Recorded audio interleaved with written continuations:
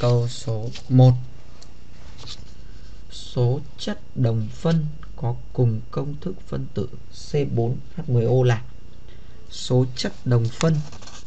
Số chất là đồng phân nhé. Có cùng công thức phân tử C4H10O Chúng ta nhìn kỹ chưa? Số chất là đồng phân Có cùng công thức phân tử C4H10O Cái này thầy đã dạy rồi Đúng không? Nào ta sẽ có là vẽ mạch C4 này 1, 2, 3, 4 đúng không? 1, 2, 3 Đánh số trục đối xứng. 1, 2, 3, 4 4 đồng phân ancol Đồng phân ET này. 5 6 7 Vậy là ta có tổng cộng 7 đồng phân. Đáp án đúng đáp án B bỏ. Được chưa? Câu số 2 là C5H12O có bao nhiêu đồng phân ancol bậc 1 Bây giờ đề bài hỏi là C5H12 có bao nhiêu đồng phân ancol bậc 1 Có nghĩa là nhóm OH đính vào carbon bậc 1 Đúng không? Bậc của ancol là nhóm OH đính vào carbon bậc 1 Vậy mình vẽ mạch chính C5 này. 1 này. 2 này. 3 này. Đúng chưa? Vậy là mình có 3 mạch chính đúng không? Bây giờ là nhóm OH đính vào carbon bậc 1 Thì mình có. Được chưa? Thì mình có nhỉ nhá. Trục đối xứng này. Trục đối xứng này. Đây là một đồng phân OH đính vào carbon này bậc 1 này. Trục đối xứng này. 2 Thằng này cũng là 2 đúng không? Thằng này là 3 Đúng chưa? Đây là OH đính vào carbon 1 Và anh cuối, là anh số 4 Được chưa? Vậy suy ra C5H12 có số đồng phân ancol bậc 1 là 4 anh. Đáp án đúng, đáp án A. Câu số 3 Câu số 3 Là cho các hợp chất, số chất là đồng phân của nhau là, Lưu ý nhé. Cho các hợp chất, số chất là đồng phân của nhau là, Mình nhìn này, Anh số 1 này, Công thức của nó sẽ là C2H6O2 Câu số 2 là C3H8O2 Câu số 3 là C3H8O2 Vậy câu số 2 và câu, và cái thằng số 3 là đồng phân của nhau. Đúng chưa? Đồng phân là cùng công thức phân tử. Thằng số 4 là C3H8O3 Đúng không? Vậy là mình sẽ có, chỉ có hai thằng thôi. Vậy đáp án đúng của mình là đáp án B bỏ. Đáp án đúng của mình là đáp án B bỏ. Câu số 4 Câu số 4 A là đồng đẳng của ancol có tỷ khối hơi so với oxy thì bằng 2,3125. A à, là đồng đẳng của ancol ethylic. Và thế thì mình phải nhớ được cái công thức tổng quát của dãy đồng đẳng ancol ethylic, đúng không? Ancol ethylic của chúng ta là CnH2n cộng 2 đây là dãy đồng đẳng ancol ethylic, đúng không? Tỷ khối hơi vậy mình có là phân tử khối. Phân tử khối của A sẽ bằng là đây là 12n cộng 2n là 14n. 14n cộng 2 tỷ khối hơi so với oxy bằng 2, 2,3125 có nghĩa là phân tử khối của nó chia phân tử khối của oxy là 32 thì bằng 2,3125 vậy hoàn toàn tới đây chúng ta tìm được n hoàn toàn tới đây chúng ta tìm được n n sẽ bằng bao nhiêu nhỉ? Ờ, à, 2,3125 nhân 32 bằng trừ 2 bằng chia 14 bằng. Ơ sao lại 2,2,3125 à sorry đây là ô nữa ô nữa chỗ này phải là cộng uh, 2 cộng 16 ạ nhân 12 ạ nhân 32 nhân 32 Đấy chưa? Bằng 74 trừ đi 18 chia 14 bằng 4 n bằng 4 n bằng 4 vậy anh này, anh đồng đẳng của Ancontilic nó sẽ là C4H10O C4H10O đề bài hỏi là số đồng phân có mạch carbon không phân nhánh nhé mạch carbon không phân nhánh. Có nghĩa là mạch C4 là mình có những cái mạch nào không phân nhánh? 1 2 3 4 đấy chưa? Trục đối xứng. 1 2 vậy suy ra nó chỉ có hai đồng phân mạch carbon không phân nhánh thôi. Đấy chưa? Vậy đáp án đúng của chúng ta là đáp án B, bỏ 2 hai đồng phân mạch carbon không phân nhánh. Câu số 5 câu số 5 khi cho ancol ethylic tan vào nước thì số liên kết hydro trong dung dịch có thể có là. Ui, cái này thầy dạy rồi. Đúng không? Khi cho ancol ethylic tan vào nước thì số liên kết hydro có thể có ở bên trong dung dịch là may mà phần này thầy dạy rồi nhá, không là toang, đúng không? Phần này thầy nghĩ là tất cả chúng ta đều làm được. Đây, mình có số liên kết hydro có thể có là. Thì chỗ này ở trong cái phần mà tính chất vật lý của ancol. Thầy đã nói khá là rõ cho chúng ta. Đây. Ancol ethylic thì nó cũng tương tự như ancol methylic đúng không? Thì mình sẽ có đây. Thứ nhất là liên kết hydro của O của ancol với H của ancol này. O của ancol với H của nước H của ancol với O của nước và H của nước với O của nước. Vậy mình có 1 2 3 4 4 loại liên kết hydro. Được chưa? Mình có tổng cộng có 4 loại liên kết hydro nhá 4 loại liên kết hydro. Vậy đáp án đúng là đáp án D. Câu số 6 cho 3 ancol methylic ancol ethylic và ancol propylic, điều nào sau đây là sai? Tất cả đều nhẹ hơn nước, đúng không? Đều tan vô hạn trong nước. Cái này thầy cho ghi rồi tất cả đều nhẹ hơn nước đều tan vô hạn trong nước được. Ok. À, nhiệt cái gì đó? Đều có tính axit. Nhiệt độ sôi đều tăng dần là đúng. Đều có tính axit là sai. Vậy sai là gì? Ok chưa? Sai là gì? Thôi câu 7 thì bỏ nó bị lỗi phông nhá.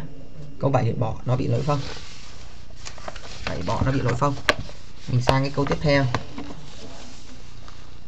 Là câu số 7 bỏ bị lỗi phông rồi. 8 9 10 11 có này, câu số 8 này. Dãy đồng đẳng của ancol ethylic có công thức chung là đáp án nào sau đây. Thì dãy đồng đẳng của ancol ethylic thì công thức của nó sẽ là CN ancol ethylic thì nó là no và đơn.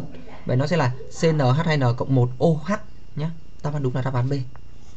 CnHn cộng 1 OH Câu số 9 Trong các công thức nào sau đây, Hãy cho biết công thức nào là công thức của ancol bậc 1 Nó phải thể hiện ra rõ được nó là ancol bậc 1 Được chưa? Ancol bậc 1 Vậy thì ancol bậc 1 thì nó chỉ có thể là RCH2OH Đáp án đúng, đáp án A. RCH2OH đáp án đúng, đáp án A. Câu số 10 là một câu về tính toán bài tập cháy, nhưng mà là một câu tính toán của bài tập cháy đơn giản thôi. Nó không phải là quá khó khăn chúng ta cùng nhìn nhé. Câu tính toán bài tập cháy. Cho ancol no đa chức đơn hở. Ancol no đa chức đơn hở.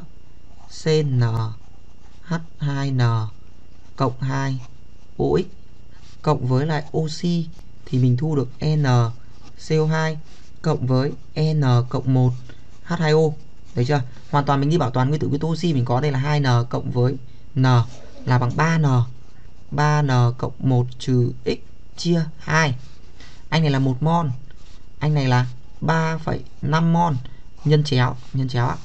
Nhân chéo. Thì mình được đây là 3,5 Thì bằng 3N cộng 1 trừ X chia 2 Suy ra mình có 3N cộng 1 trừ X bằng 7 Suy ra mình được 3N trừ X bằng 7 trừ 1 bằng 6 Đấy chưa? đến đây mình sẽ có cái bảng giá trị của x giá trị bằng của n nếu x bằng 1 thì n loại do n là một số nguyên. Nếu x bằng 2 thì n cũng loại do n là một số nguyên. Nếu x bằng 3 thì 6 cộng 3 là 9 9 chia 3 bằng 3 vậy n bằng 3 thỏa mãn. X bằng 3 n bằng 3 vậy suy ra công thức là C3H8O3 hay nói cách khác, hay nói cách khác, nó là C3H5OH tất cả 3 lần. Vậy đáp án đúng của chúng ta nó là đáp án B. Bỏ. Đáp án đúng của chúng ta là đáp án B bỏ, nhá. Ok chưa?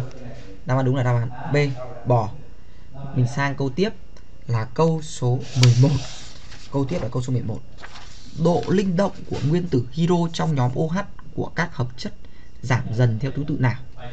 Độ linh động, độ linh động của nguyên tử hydro trong nhóm OH của các hợp chất giảm dần theo thứ tự có nghĩa rằng ở đây người ta nói là độ linh động hydro nó phải giảm dần thế thì chúng ta cái hiểu một chút về cái chỗ phần mà cái độ linh động của hydro thế này nhé có nghĩa thế này này. Ở đây là mình có O này, liên kết với H, được chưa? Oxy này thì là nó là có độ âm điện âm, được chưa? Nên nó sẽ hút e về phía nó. Hydro sẽ bị dương điện hơn. Thì oxy mà càng hút e về phía nó thì hydro càng bị linh động, đúng chưa?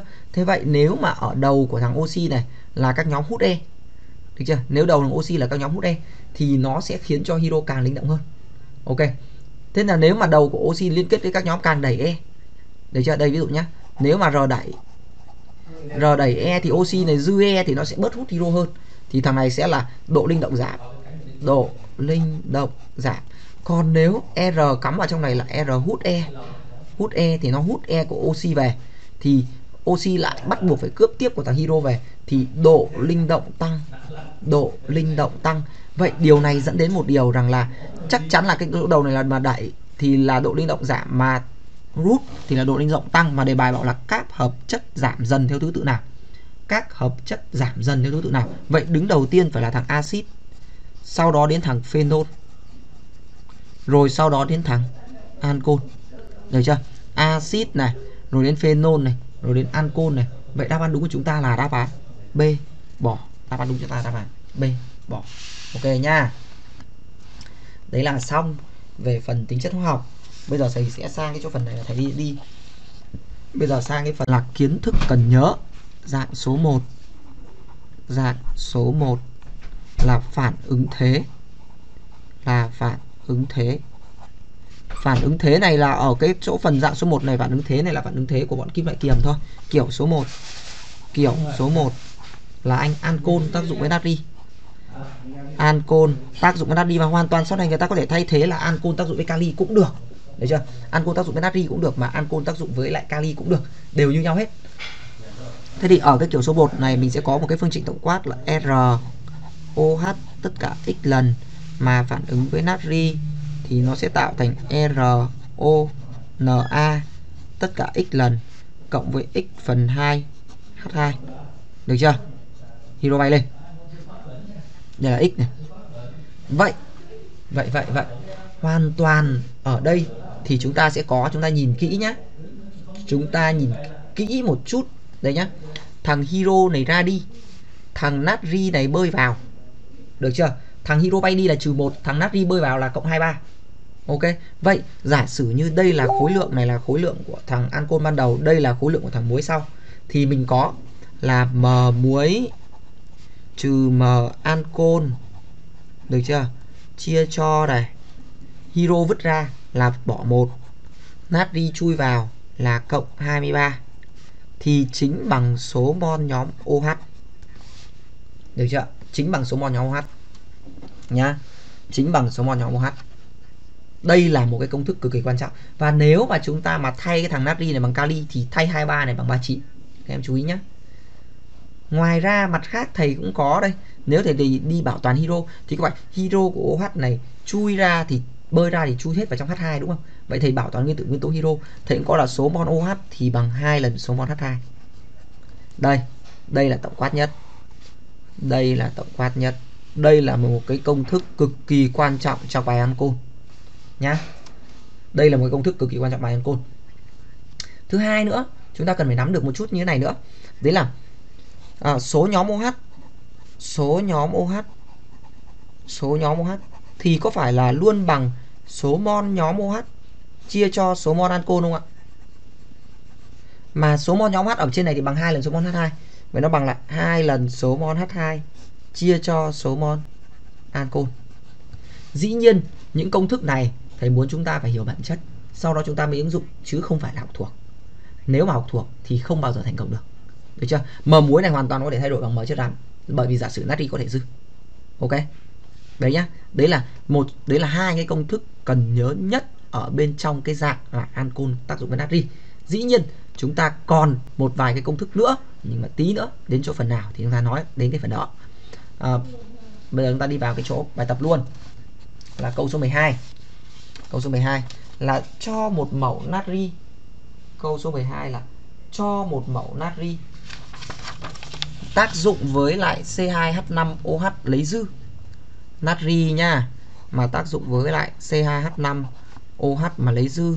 Thằng này cho tác dụng với natri thì tạo thành C2H5ONa cộng với lại H2 đấy chưa?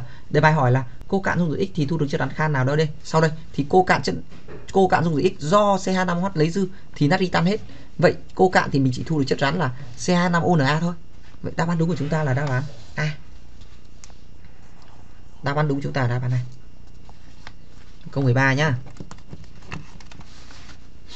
Câu 13 cho các chất sau.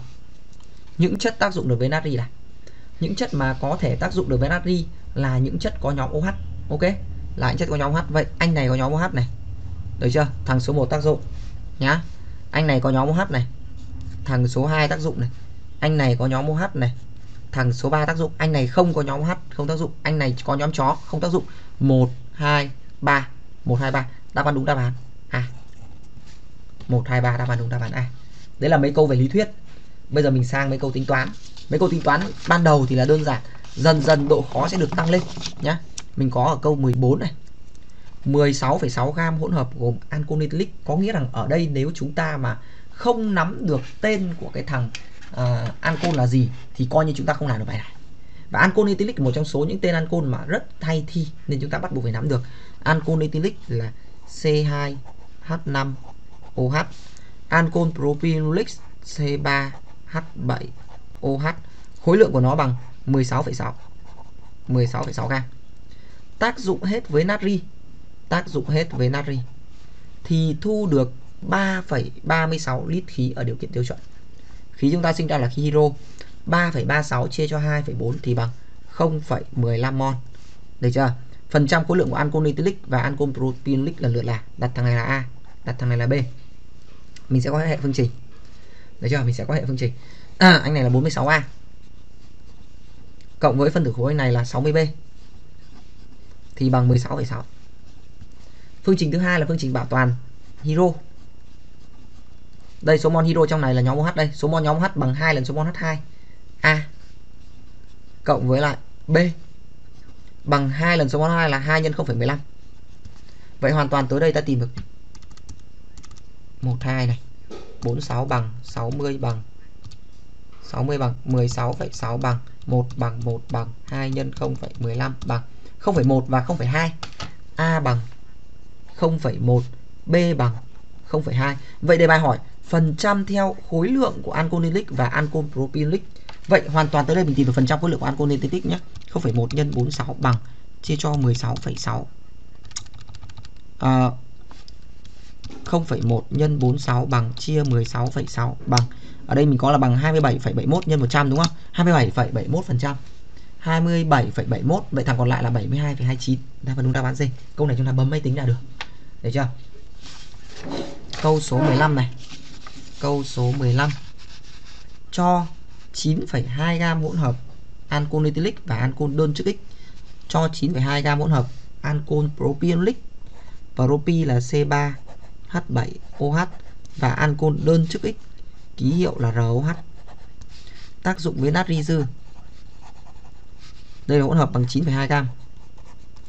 Sau phản ứng thu được hiro số mol hiro bằng 2,24 bằng 0,1 thế có phải là hai thằng này đều là ancol đơn chức đúng không thì mình có số mol ancol đơn chức có phải chính bằng số mol nhóm OH và bằng 2 lần số mol H2 bằng 2 nhân 0,1 bằng 0,2 không? Đúng chưa? 2 nhân 0,1 bằng 0,2. Vậy thì hoàn toàn tới đây chúng ta tìm được phân tử khối trung bình của ancol bằng 9,2 chia 0,2 bằng 46 không? Đấy chưa? 46 mà, cháu này thì bằng 60 46 nhỏ ăn 60 rồi. Mà anh này là trung bình, Đúng chưa? Vậy 46 giờ chỉ lớn hơn một thằng duy nhất thôi, Là lớn hơn 32 Và 32 chúng ta chỉ có thể là CS3OH Nhiều bạn bảo tại sao thầy biết cái này? Tại vì thường mình làm rất là rất là nhiều Thì mình sẽ nắm được CS3OH là bằng 32 nhé Và 46 làm rất là nhiều là C2H5OH Nên nó không thể là C2H5OH được. Đấy chưa? Bởi vì nó phải nhỏ hơn 46 Thì chỉ có thể là CH3OH mà thôi. Vậy ancol đó của chúng ta là ancol methylic đáp án đúng là đáp án A. Ancol methylic đáp án đúng là đáp án A. Ok chưa? Các đã hiểu cái cách tính toán này chưa? 16 này. Cho 2,84 gam hỗn hợp X gồm hai ancol đơn chức. Vừa đủ này. Thế đây mình ứng dụng cái công thức thôi.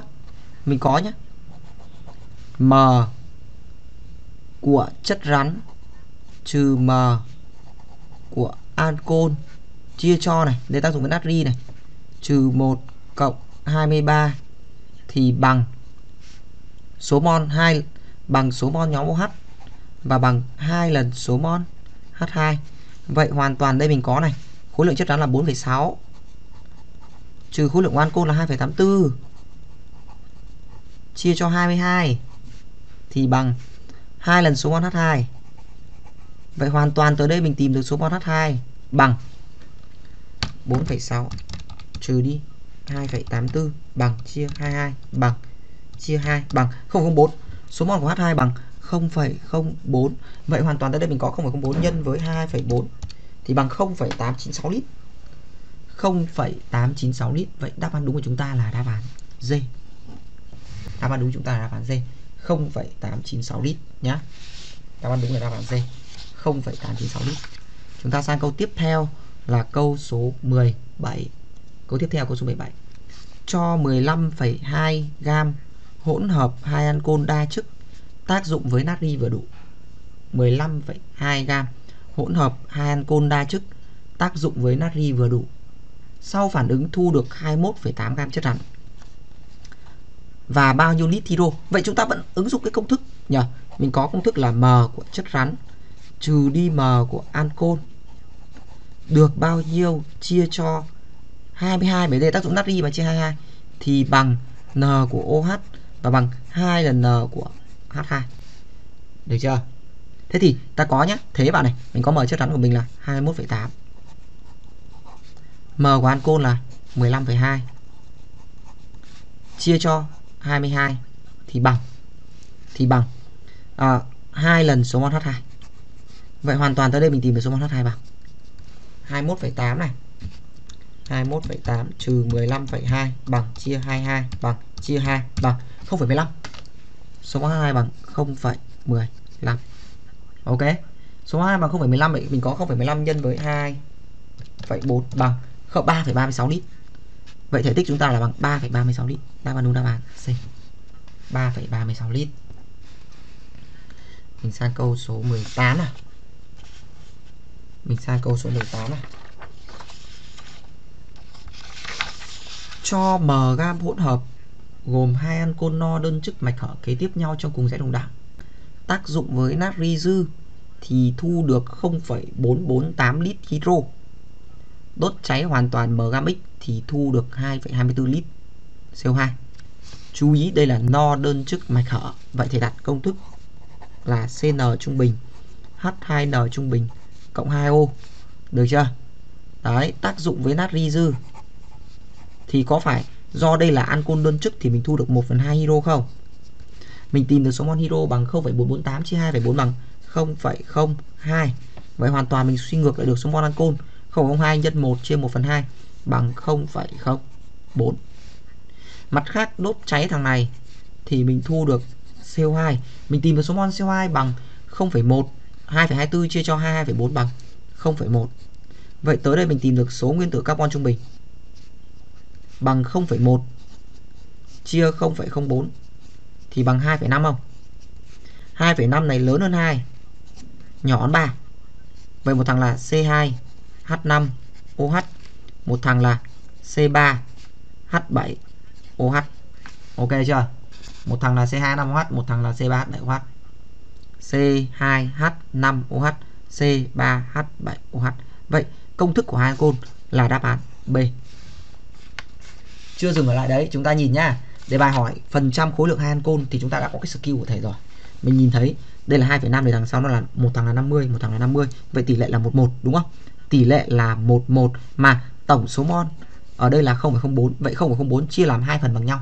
Vậy mỗi phần bằng 0,02 0,02 đấy chưa đề bài hỏi chúng ta là phần trăm khối lượng của hai ancol thì mình tìm được luôn là phần trăm khối lượng của thằng C3H7 OH là 0,02 nhân 60 bằng chia cho tổng khối lượng tổng khối lượng của hai ancol chưa biết chia cho n cộng với 0,02 nhân 46 bằng 56,60%. Một thằng là 56,60% và chúng ta nhìn đáp án thì chỉ có đáp án B là thỏa mãn. Một cháu là 43,4, một cháu là 56,6%. Đáp án đúng chúng ta là đáp án B bỏ. Đáp án đúng của chúng ta là đáp án B bỏ. Ok nhá. Mình sang câu tiếp theo là câu số 19. Câu số 19. Cho 19,2 gam hỗn hợp gồm hàn côn đơn chức AB tác dụng vừa đủ với natri. Sau phản ứng thu được 3,36 lít khí hydro ở điều kiện tiêu chuẩn. Nhá. 19,2 gam này. Hỗn hợp X gồm hai ancol đơn chức AB tác dụng với đủ natri. Sau phản ứng thu được 3,36 lít hydro ở điều kiện tiêu chuẩn. Khối lượng muối thu được này. Thế mình có này, m muối trừ đi m ancol. M muối trừ m ancol chia cho 22 thì bằng 2 lần NH2. Ok, mình có nhé. M muối M muối của mình thì chưa biết. Vậy mình có M muối sẽ bằng số mol H2 là 0,15 0,15 nhân 2 bằng 0,3 nhân với 22 cộng với lại m hạn côn. Vậy hoàn toàn tới đây chúng ta tìm được m muối nhỉ. Bằng 0,3 nhân 22 cộng m ancol. M ancol ở đây là bằng 19,2. 25,8 gram. 25,8 gram. Vậy đáp án đúng của chúng ta là đáp án B, bò 25,8. 25,8 gram. Đáp án đúng của chúng ta là đáp án B, bỏ. B bỏ. 25,8 Ok? Dễ. Cho 14,1 gam hỗn hợp gồm hai ancol no đơn chức kế tiếp nhau trong một dãy đồng đẳng Ancol no đơn chức Ancol no đơn chức liên tiếp nhau trong dãy đồng đẳng tác dụng hết với natri thì thu được khí. Vậy để bài hỏi là công thức phân tử của hai ancol là? Thế thì ở đây thì chúng ta sẽ có là 14,1 gam hỗn hợp ancol no đơn trước kế tiếp này tác dụng hết với natri. Lưu ý từ tác dụng hết thì thu được 4,2 lít khí. Đây là ancol no đơn chức vậy công thức tổng quát của nó sẽ là CnH2n cộng 2O được chưa? CN2n cộng 2O mình đặt đây là n trung bình nhá. Đặt n trung bình này. Cộng với lại natri thì tạo thành thì tạo thành là gì? Thì tạo thành 1 phần 2 H2 Vậy hoàn toàn mình tìm được số mol của H2 bằng 4,2 chia 22,4 bằng 0,1875 0,1875 Vậy hoàn toàn mình suy ngược lại được số mol ancol bằng là nhân với nhân với 1 chia 1 phần 2 Vậy là nhân với 2 thì bằng là 0,375 0,375 nhá. Mà mình có khối lượng của hai ancol là 14,1 Mà mình có khối lượng của hai ancol là 14,1 Vậy hoàn toàn tới đây thì mình tìm được phân tử khối. 12n cộng 2n là 14n 14n cộng với 2 cộng với 16 là cộng với 18 thì bằng 14,1 chia 0,375 14,1 14,1 chia n bằng 37,6 37,6 Vậy hoàn toàn tới đây chúng ta tìm được n trung bình bằng 37,6 trừ đi 18 bằng chia 14 bằng 1,4 1,4 thì ta thấy thế này 1,4 vậy thì do đề bài nói là ancol đồng đẳng ancol đơn chức liên tiếp nhau thì 1,4 ta có là 1,4 nhỏ hơn 1 à lớn hơn 1 nhỏ hơn 2 vậy chắc chắn một thằng là CH3OH một thằng là C2H5OH được chưa? Một thằng là CH3OH nhé một thằng là C2H5OH ok? Thế thì Thế thì sau khi mà tìm được công thức của hai ancol rồi, vậy đáp án đúng của chúng ta là CH3OH và C2H5OH, đáp án đúng là đáp án A. Đề bài hỏi chúng ta là phần trăm về khối lượng thì ở đây mình có đây là 1,4 thì một thằng chiếm 40%, một thằng chiếm 60%, đúng chưa? Vậy được chưa? Vậy mình có này 1,4 này gần với 1 hơn. Vậy thằng này chiếm 60%, thằng này chiếm 40%, 40 chia 60 thì bằng 2 chia 3. Nhá. Mà tổng số mol của bọn ancol bằng 0,375. Vậy 0,375 này chia làm 5 phần. 0,375 chia làm 5 phần.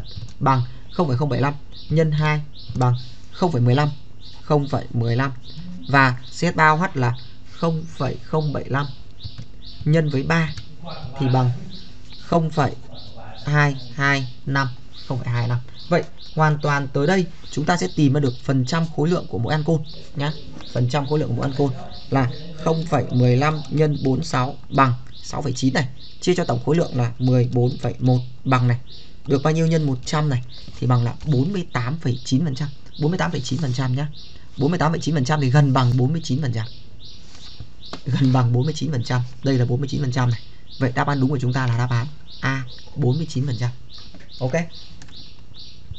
49% xong sang câu tiếp theo là câu số 21 phần này phần rất quan trọng nhé phần này phần trọng tâm nhất của phần hóa học lớp 11 học kỳ 2 cho 15,6 gam hỗn hợp hai ancol đơn chức kế tiếp nhau trong giai đoạn đẳng tác dụng hết với 9,2 gam natri thu được 24,4 à 24,5 gam chất rắn hai ancol đó là đây câu này là câu lừa câu 21 này là lừa rất nhiều bạn bởi vì ở đây là có cho khối lượng ancol này cho khối lượng natri này cho khối lượng chất rắn nên nhiều bạn bị lừa chúng ta phải cẩn thận khi mà cho 15,6 gam hỗn hợp ancol này cho khối lượng chất rắn này cho khối lượng natri thì mình phải cẩn thận cái gì ạ đây mình có ancol đơn chức là r trung bình OH cộng với lại natri thì tạo thành chất rắn cộng với lại hiro đúng không ạ? Thì mình có ROH của mình là 15,6. 15,6. Natri là 9,2. Chất rắn là 24,5. Vậy hoàn toàn tới đây chúng ta có bảo toàn khối lượng. Khối lượng của ancol cộng khối lượng của natri thì bằng khối lượng của chất rắn cộng với lại khối lượng của H2. Vậy hoàn toàn tới đây chúng ta tìm được khối lượng của H2. Khối lượng H2 bằng 15,6 cộng 9,2 bằng trừ đi 24,5. Vậy mình tìm được khối lượng của H2 bằng 0,3. Đến đây mình tìm được số mol của H2 là mình lấy 0,3 chia cho 2 bằng 0,15 mol. Vậy mình có là 0,15 mol H2. Với giá trị H2 bằng 0,15 mol thì ta có do đây là anh ancol đơn chức nên mình có số mol thằng ancol này chính bằng số mol nhóm OH này chính bằng 2 lần số mol H2 này và bằng 2 nhân với 0,15 thì bằng 0,3. Ok chưa? 2 nhân với 0,15 thì bằng 0,3. Vậy hoàn toàn tới đây chúng ta tìm được phân tử khối trung bình của ancol nhá.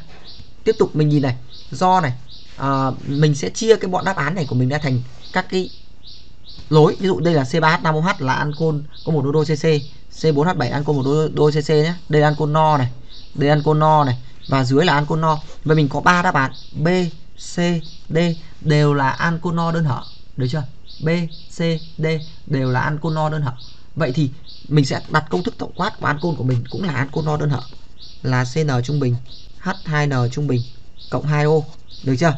Thì nó sẽ bằng là bao nhiêu ạ? Thì nó sẽ bằng là bao nhiêu 15,6 15,6 chia cho số mol ancol là 0,3 15,6 chia 0,3 bằng 52 Vậy hoàn toàn tới đây chúng ta tìm được N trung bình.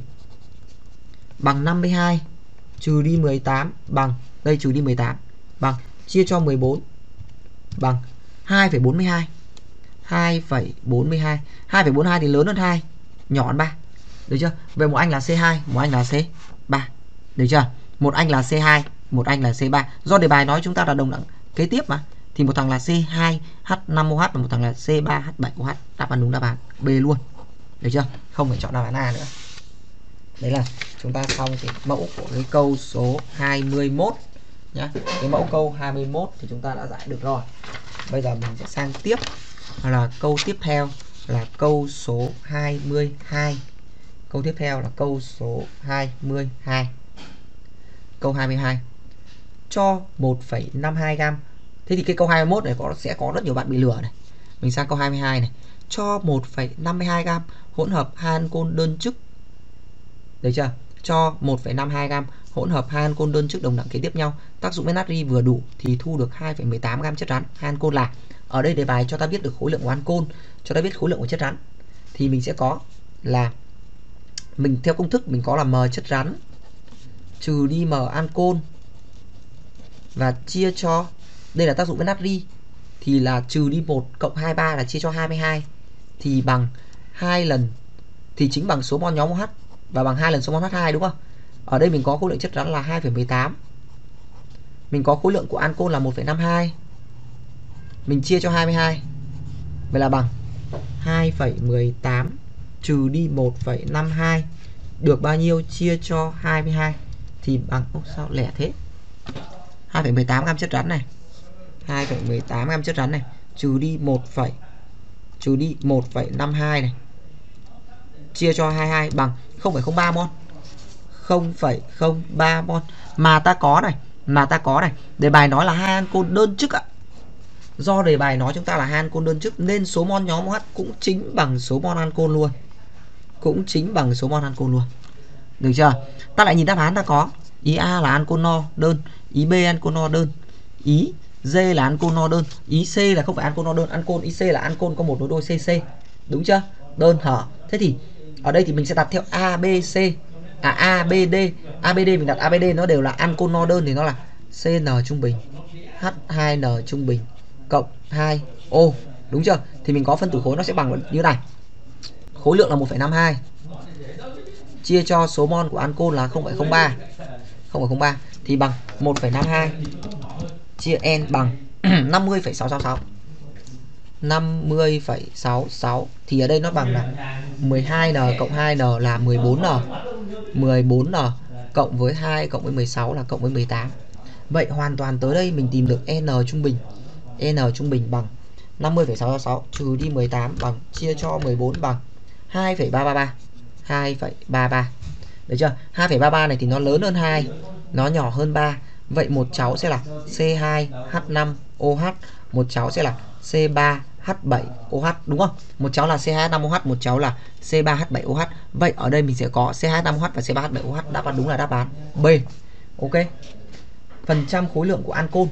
Bây giờ đề bài lại hỏi chúng ta phần trăm khối lượng ăn côn thì mình nhìn này. À, mình đã sử dụng cái skill của thầy. 2,33 2,33 này thì 2,33 này gần thằng nào hơn ạ? Gần thằng 2 hơn hay là gần thằng 3 hơn? Nó gần thằng 2 hơn. Đúng chưa? Và do nó gần thằng 2 hơn nên thằng 2 sẽ chiếm phần nhiều hơn. Vậy thằng 2 là 66 phần. Được chưa? Thì thằng C3H7 này chỉ là 33 phần. 33 chia 66 thì bằng 1 phần 2. Được chưa? 33 chia 66 thì bằng 1 phần 2. Vậy có nghĩa tổng số mol của bọn này, tổng số mol của ancol bằng 0,03. 0,03 chia làm 3 phần thì số mol của C3H7OH là 0,01 và số mol của C205OH là 0,02 ok? Thế thì hoàn toàn tới đây.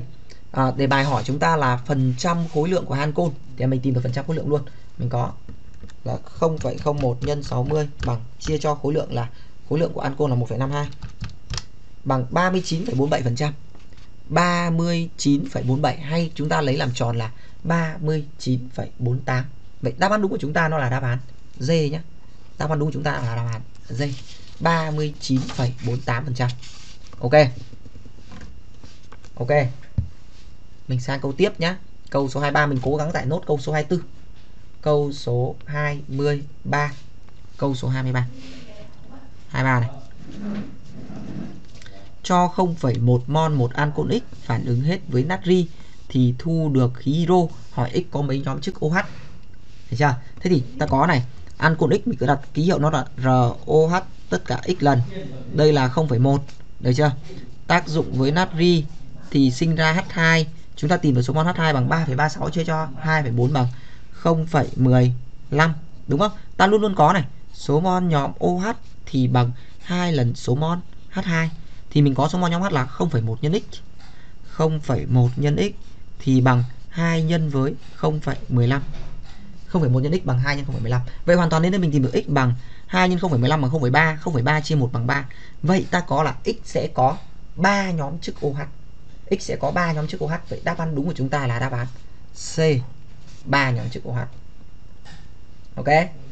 Câu 24 câu 24 cho 9,2 gam cho 9,2 gam ancol X vào bình đựng natri dư cho 9,2 gam ancol X vào bình đựng natri dư. Sau phản ứng hoàn toàn thì ta thấy khối lượng bình đựng natri tăng lên 9 gam. Này, cho ancol vào trong bình đựng natri thì đáng nhẽ khối lượng của bình nó phải tăng lên chính bằng khối lượng của ancol là 9,2. Thế mà ở đây lại chỉ tăng lên có 9. Vậy cái hụt đi này chính là khối lượng của ancol, chính là khối lượng của hero bay ra. Chúng ta có khối lượng của hero bằng 9,2 trừ 9. 9,2 trừ 9 thì bằng 0,2. Đến đây chúng ta tìm được số mol của hydro thì bằng 0,2 chia 2 bằng 0,1 được chưa? Mình tìm được số mol của ờ, uh, hydro bằng 0,1 vậy mình tìm được số mol nhóm OH số mol nhóm OH thì bằng 2 lần số mol H2 2 lần số mol H2 và bằng 2 nhưng 0,1 bằng 0,2 được chưa? Nhìn đáp án ta có. Đáp án A ancol đơn chức đáp án B ancol đơn chức đáp án C côn 3 chức và đáp án D là côn 2 chức vậy bây giờ mình tóm gọn thằng A và thằng B ăn côn đơn chức trước. Giả sử là côn đơn chức thì số mol thằng này chính bằng số mol côn. đúng chưa? Vậy hoàn toàn tới đây chúng ta tìm được phân tử khối. Giả sử nó là côn đơn chức nhé giả sử là côn đơn chức thì mình tìm được phân tử khối của ancol x bằng khối lượng là 9,2 chia cho số mol ancol là 0,2 thì nó bằng 46 được chưa? Và khi mình thấy nó bằng 46 thì nó chính bằng là phân tử khối của C2H6O vậy đáp án đúng của chúng ta nó là đáp án A. 24 đáp án A. 24 đáp án A. 24 đáp án A. Sang câu tiếp theo là câu số 25 câu tiếp theo là câu số 25 câu tiếp theo là câu số 25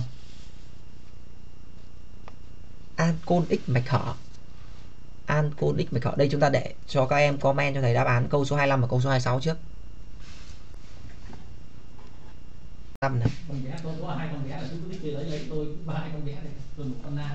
25 này. Ancol X mạch hở có số nguyên tử carbon bằng số nhóm chức. Đây mình nhìn đã. Một carbon, một OH, ok. Một carbon, một OH, một carbon, một OH, một carbon, một OH, ok. Một carbon, một OH, một carbon, một OH, ok. Được chưa? CH5OH Thằng này khác. Ok nhá. Ancol X mạch hở có số nguyên tử carbon bằng số nhóm chức xong. Về loại ngay đáp án D. 9,3 gam ancol X tác dụng natri dư thu được 3,36 lít khí. Vậy ở đây mình sẽ giải theo kiểu này. Là số nguyên tử carbon mà bằng số nhóm OH thì ta sẽ có đây là CN tất cả bọn này đều no. CN H2N cộng 2 ON đúng rồi. À, tác dụng với natri dư. Tác dụng với natri dư. Thì su được khí hydro số mol hydro bằng đây N phần 2 số mol hydro bằng 3,36 chia cho 2,4 thì bằng 0,15 mol. 0,15 mol hydro. Thì hoàn toàn mình suy ngược lại được mình có được 0,15 nhân 1 chia n phần 2 0,15 chia cho 0,5 n thì nó có phải là bằng 0,3 phần n không ạ? 0,3 phần n. Thế thì khối lượng thằng này bằng 9,3 khối lượng thằng này bằng 9,3 vậy hoàn toàn mình có phân tử khối bằng 12n cộng 2n là 14n cộng 2 cộng với 16n thì bằng 9,3 chia cho 0,3 phần n. 9,3 chia 0,3 thì bằng 30 31 31n Vậy hoàn toàn tới đây chúng ta sẽ có đây là 14 cộng 16n thì bằng 30n 30n cộng 2 thì bằng 31n Từ đó mình tìm được n của mình bằng 2 n của mình bằng 2 Vậy đáp án đúng của chúng ta đó là đáp án C nhá, Đáp án đúng của chúng ta là đáp án C Ok Hiểu không? Đấy, cái cái cái quan trọng của cái việc giải bài tập hóa hữu cơ là chúng ta phải đạt được công thức tổng quát nhá. Nếu chúng ta không đạt được công thức tổng quát là coi như chúng ta toan. Ok chưa? Nốt câu 26 và câu 27. Câu 26.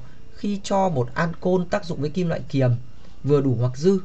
Khi cho một ancol tác dụng với kim loại kiềm vừa đủ hoặc dư, nếu hydro sinh ra bằng 1 phần 2 số mol ancol ta luôn luôn có nhá ta luôn luôn có này ta luôn luôn có này số mol nhóm OH thì có phải chính bằng hai lần số mol H2 không được chưa và ta có số mol nhóm H bằng một, bằng hai lần số mol H2 mà số mol H2 sinh ra bằng 1 phần 2 lần số mol ancol, vậy có phải bằng 2 nhân 1 phần 2 số mol ancol không?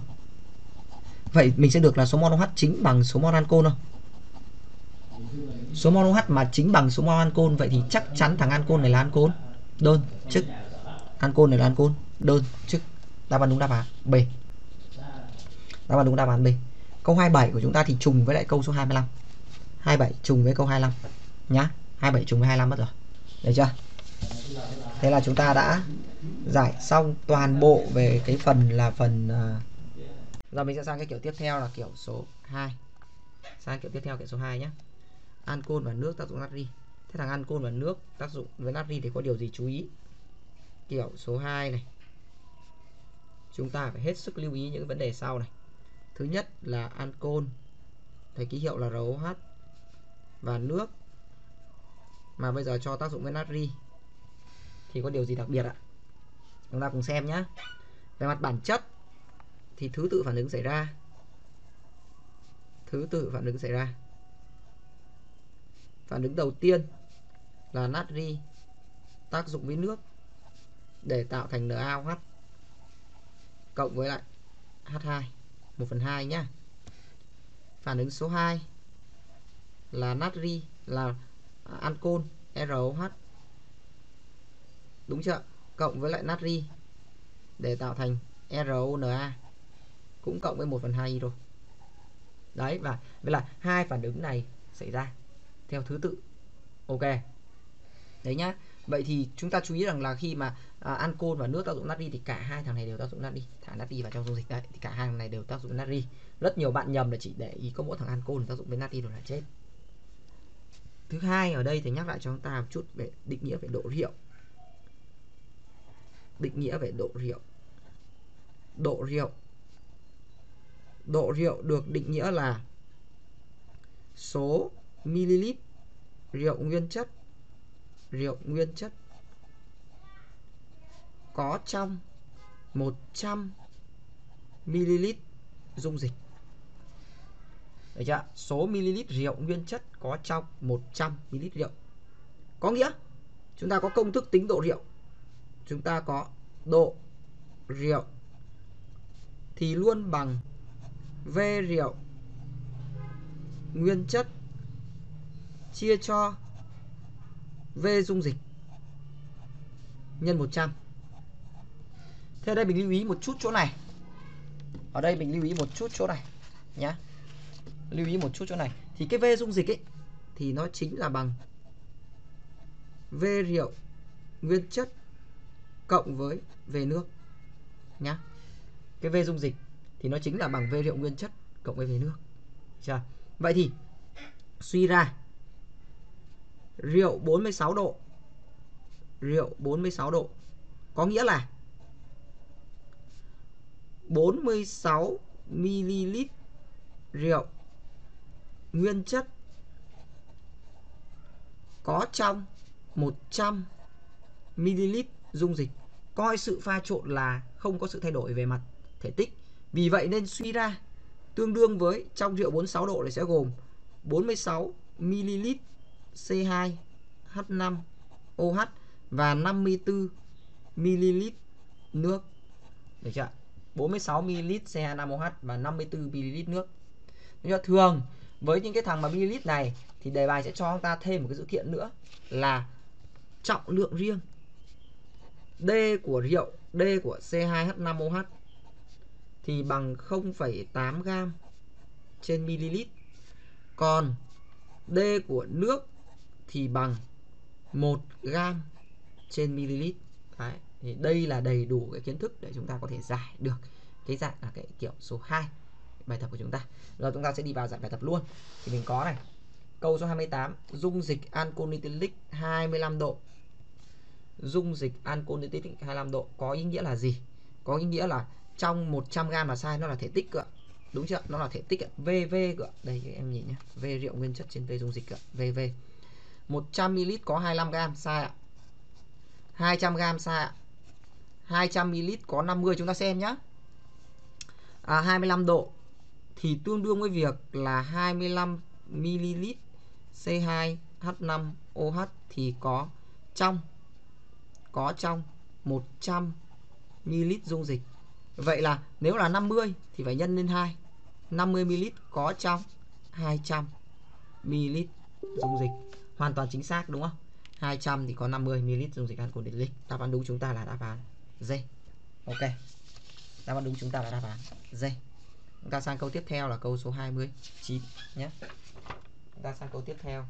Câu số 29 câu số 29 29 của chúng ta này. Cho 100ml rượu 46 độ tác dụng hết với natri thì thu được thể tích hydro là 100ml rượu mà tác dụng hết với natri thì thu được thể tích hydro là 100ml rượu 46 độ nha. Vậy đây mình có này.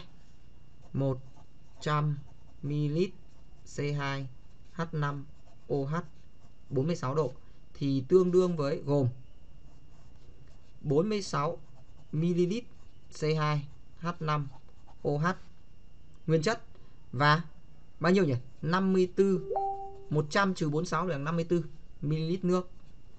Ok.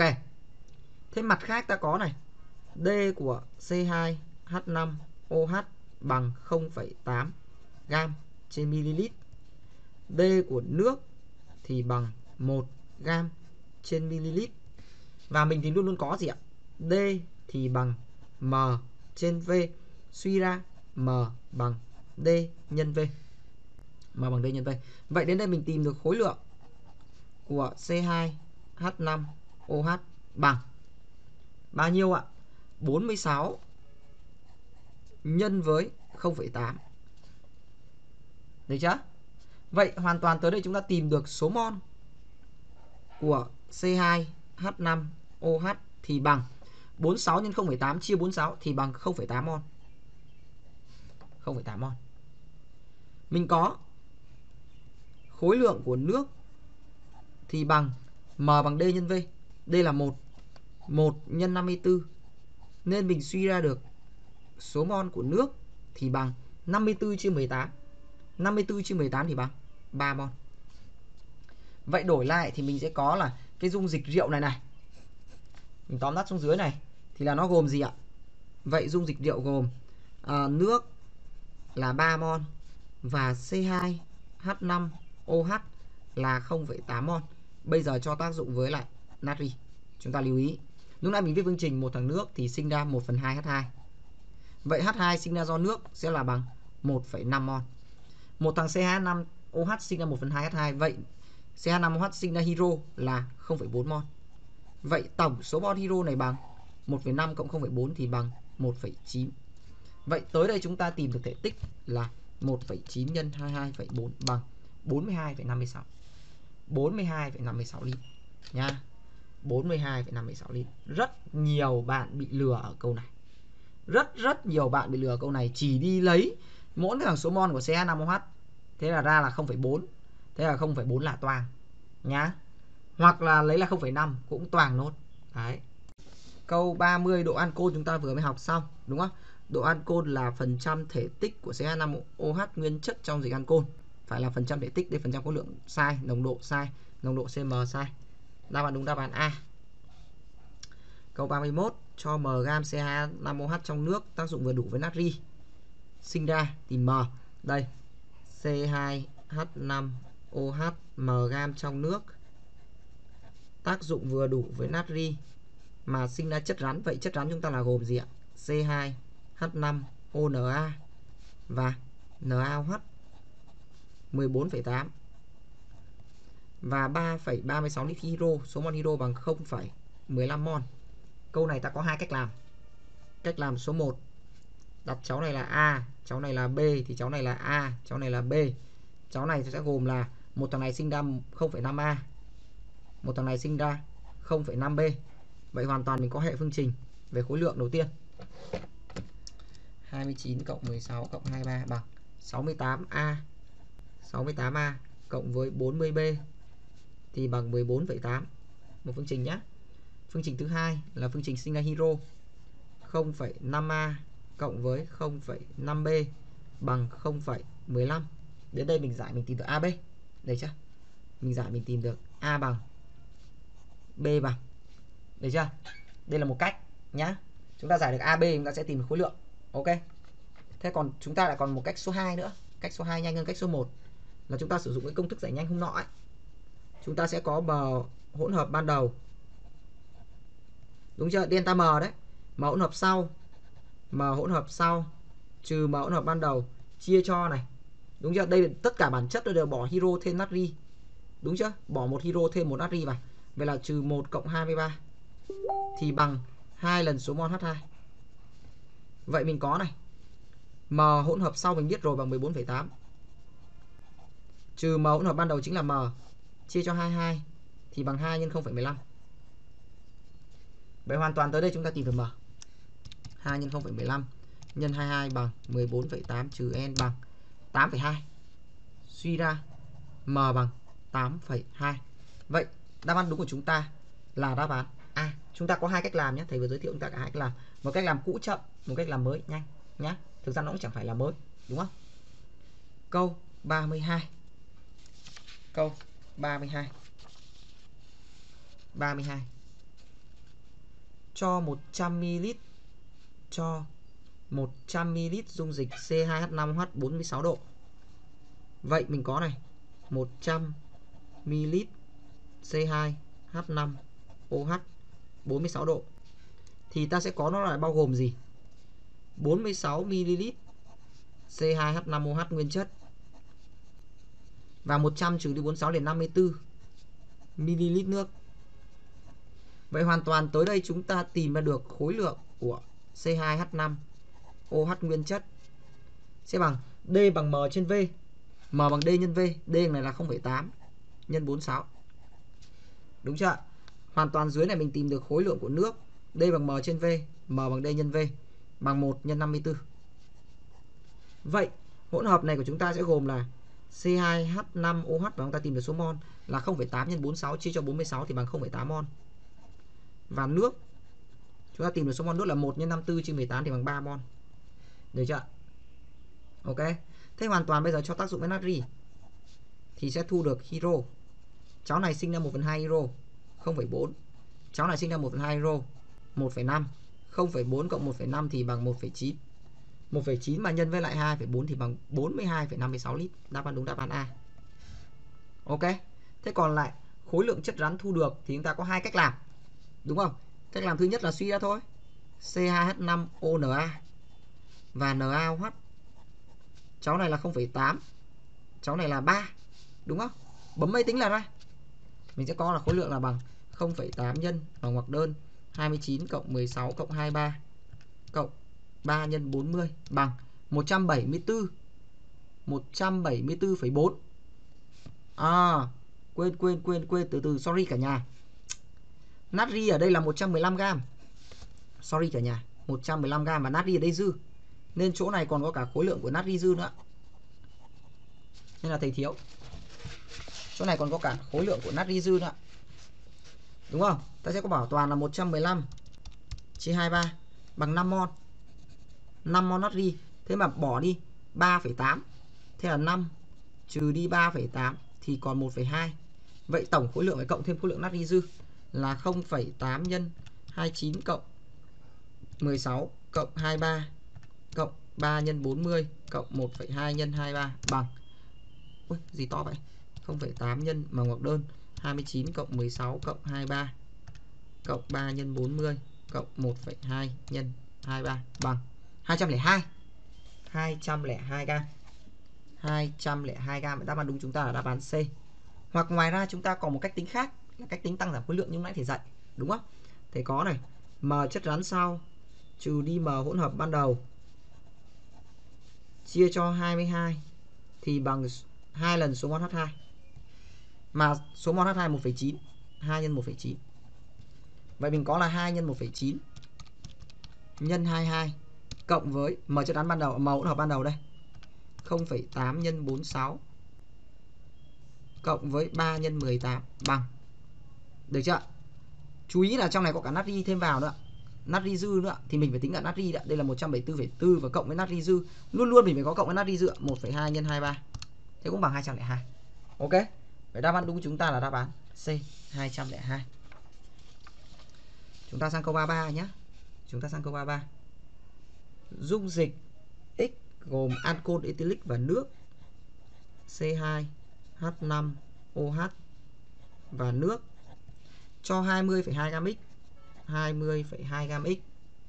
Tác dụng với natri dư thì thấy thoát ra 5,6 lít. Vậy đây là hydro số mol hydro bằng 0,25 được chưa thế thì đề bài bảo độ ancol trong dung dịch nhá. Đề bài bảo độ ancol trong dung dịch. Vậy mình đặt anh này là A. Được chưa? Thì anh này là B. Ok. Số mol của thằng C25OH là A số mol nước là B. Vậy hoàn toàn mình sẽ có này hydro này. Thằng này C25H tác dụng với natri dư thì sinh ra 0,5 hydro đây 0,5A nước tác dụng natri dư thì ra 0,5 hydro 0,5B vậy hoàn toàn đây mình sẽ có hệ phương trình là 46A bảo toàn khối lượng 46A cộng 18B thì bằng 20,2 phương trình thứ hai 0,5A cộng 0,5B cộng 0,5B thì bằng 0,25 vậy đến đây mình tìm được A và tìm được B. Ok?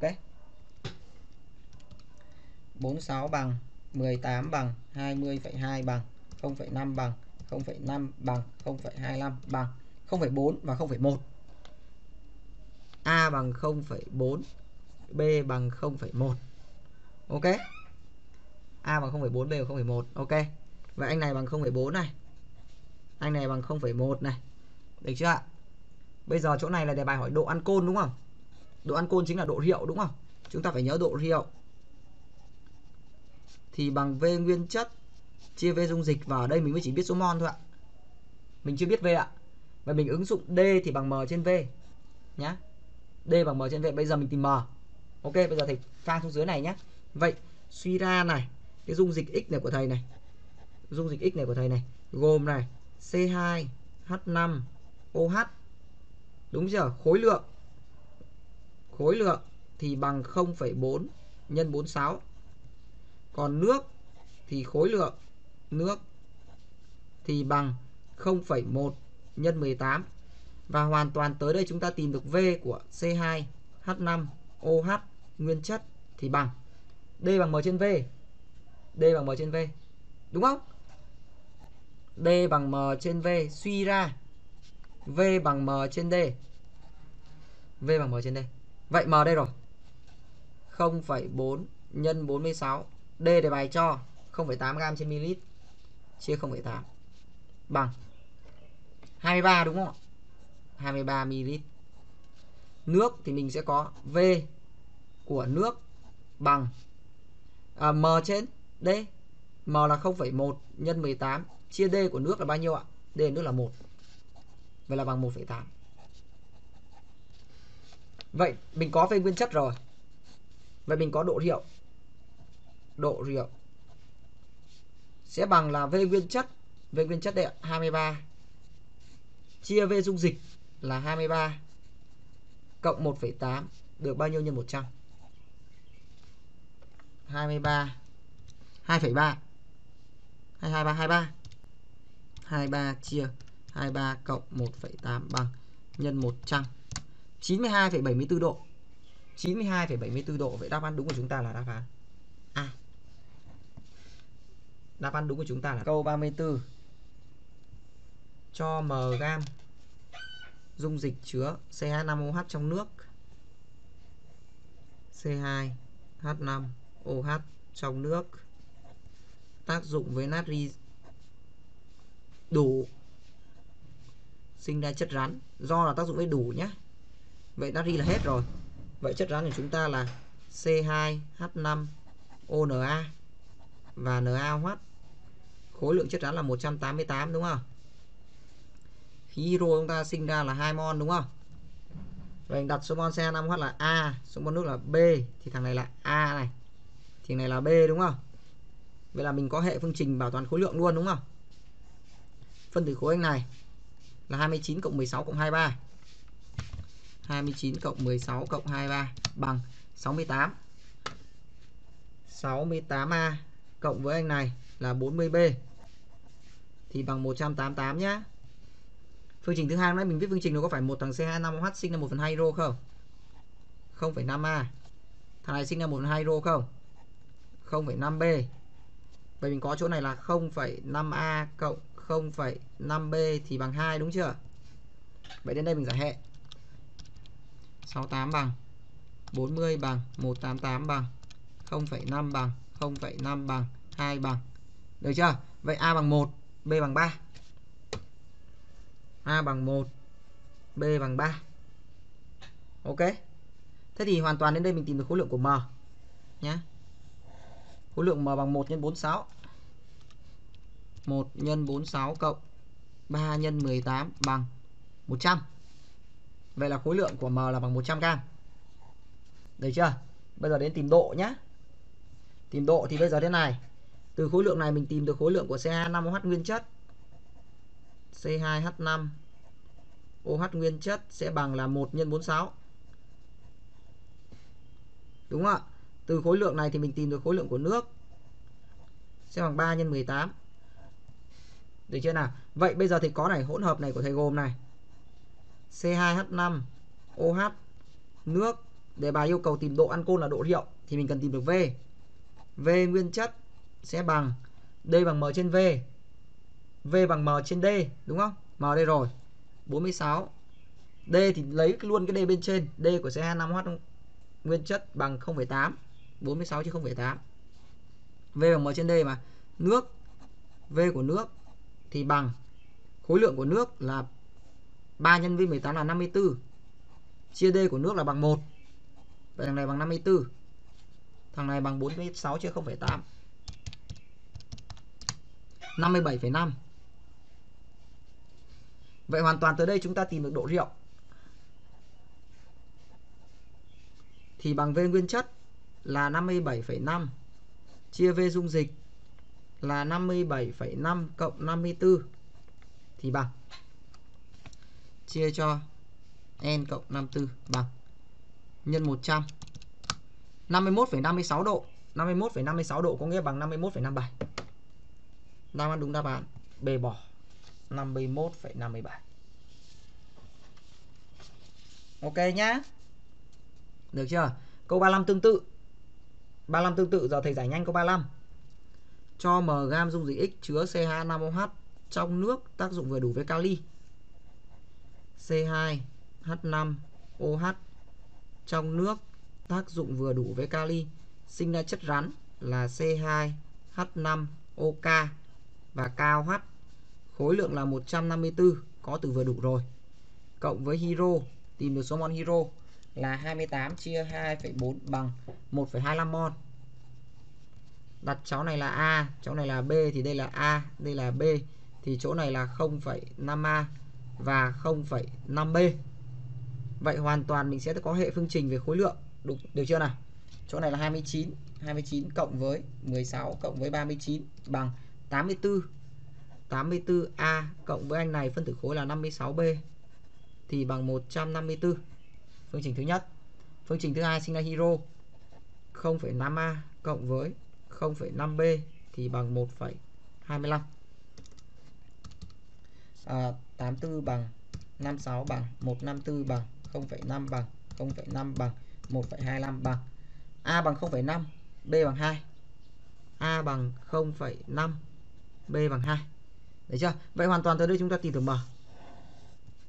0,5 nhân 46 0,5 nhân 46 cộng 2 nhân 18 bằng 59 Vậy M đầu tiên bằng 59 Thứ hai bây giờ bấm độ hiệu nhá. Giờ thì bấm nhanh này. À, Đây là mình sẽ tìm được khối lượng này. Là bằng M này 0,5 nhân 46 này. Đấy chưa? M nhá. À, D, à, V bằng M trên D Chia D Chia 0,8 bằng 28,75 V bằng 28,75 Đây là V nguyên chất bằng 28,75 V nước V nước bằng 2 x 18 bằng 36 đúng chưa? Tại vì là à, khối lượng của nước cũng chính là thể tích mà. Vậy mình sẽ có độ hiệu bằng 28 bằng V nguyên chất 28,75 chia cho V dung dịch n cộng 36 được chưa? Nhân 100 44,4 nhá. 44,4 độ. 44,4 độ phải đáp án đúng chúng ta là đáp án D 44,4 độ đáp án đúng chúng ta là đáp án D các em nhé. Đấy thì à, thầy vừa hướng dẫn chúng ta hai cách giải. Một cách giải à, câu 34 cùng là một cách giải thôi nhưng câu 34 thì thầy giải chậm. Câu 35 thì thầy giải level tốc độ nâng lên một tí xíu thôi chứ chưa phải là giải nhanh. Nâng thêm một tí xíu thôi thì chúng ta cố gắng. À, bạn nào mà chưa hiểu kỹ thì xem lại cách giải câu 34 và bấm lại máy tính, bạn nào mà hiểu rồi thì có thể làm theo cách câu 35 và bấm máy tính ra đáp án nhá.